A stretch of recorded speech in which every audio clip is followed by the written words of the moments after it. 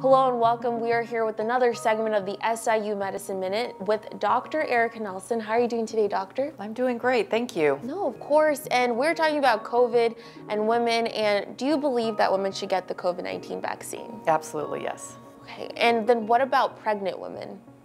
Absolutely. And they should go and talk to their providers so that they can get the the correct information about the safety of the COVID vaccine in pregnancy and in breastfeeding.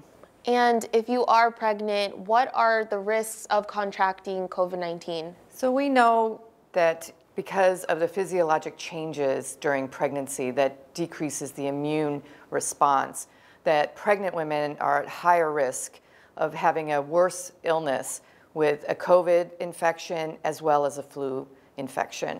And so they have a higher risk of needing higher standards, higher levels of care, including higher admissions to the ICU and even death from a COVID infection and the flu infection. And a lot of us are on social media right now. We're seeing a lot of things about fertility and COVID. Does the vaccine cause infertility? No, it does not. And that's based on science.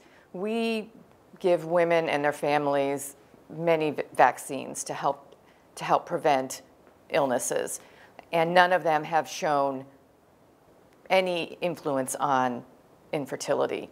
And, and there's never been and shown any reason that this protein would cause any problems with getting pregnant and keeping a pregnancy. Okay, and are there any final thoughts that you want to leave our audience with? I think that all women should consider strongly to get the COVID vaccine to help prevent illness for them and their families. Pregnant women should consider it to decrease their risk of getting really ill, and also to consider if they get the vaccine, they could be passing on immunity to their babies once their babies are born. Breastfeeding moms should consider the same thing.